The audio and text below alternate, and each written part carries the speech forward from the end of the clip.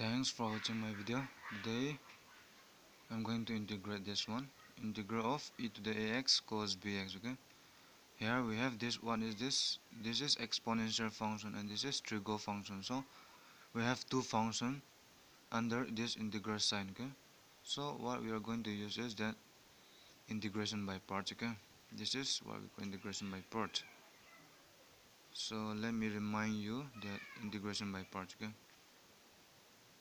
integral of uv dx where u and v are two functions just like this one okay?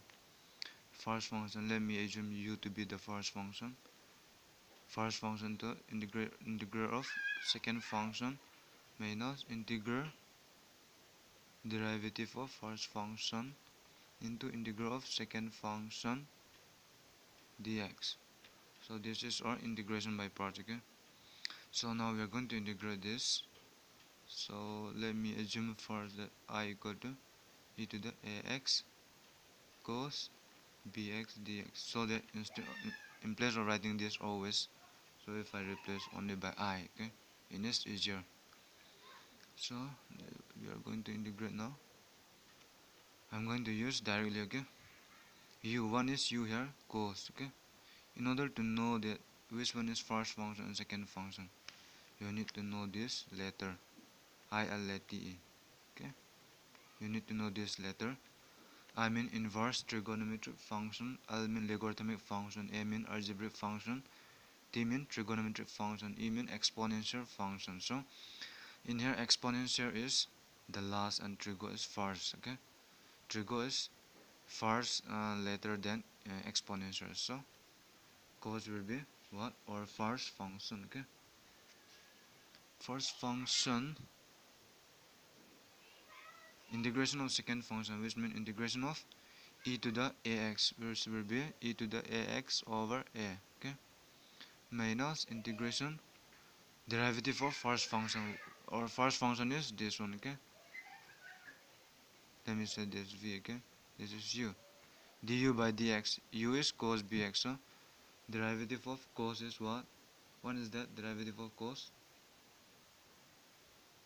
Oh, minus sine bx. Am I right? Into b okay and integration of second function okay? Integration of second function which means e to the ax over a which integration of e to the ax is e to the x over a dx okay? I is equal to e to the ax cos bx over a minus minus become plus am I right? Hmm. b over a common let me tell outside the integral okay integral of sine bx e to the x dx. So again we are going to integrate this one. Okay we are going to use the integration by part only in this one okay? So let me assume this to be equation 1 so that this part okay will be i1 let me let me assume okay i1 and now we are going to integrate this i1 so i1 is equal to integration of sine bx e to the x dx. So i1 is equal to same thing okay? Here this trigo is first function and exponential is second function according to this letter okay? Now uh, first function integration of second function integration of e to the ax is e to the ax over a minus integration derivative of sine is what cos. Bx into b. And integration of this is e to the ax is e to the ax over a dx okay? So i1 is equal to e to the ax sine bx over a minus b over a taking out common okay? Cos bx e to the ax dx. And what is this? What is this integral? Integral of cos bx e to the ax which is our original integral okay? Which is we supposed to be i okay? Now putting this value in equation 1 okay? i is equal to e to the ax cos bx over a plus b over a. And integration of this part is what? e to the ax sine bx over a. Minus b over a. And what is this? This integral is nothing but i. Because we assume here i okay? So i. Now opening the bracket. E to the ax cos bx over a plus b over a square e to the ax sine bx minus b square over a square i. Okay. Now this i transfer here because this i and i common. So if I transfer and if I take the common it will be 1 plus b square by a square i. Okay.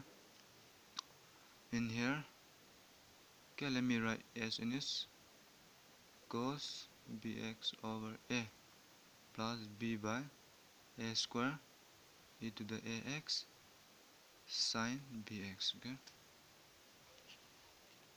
And so it's i just simplify a square plus b square over a square okay? Is equal to here.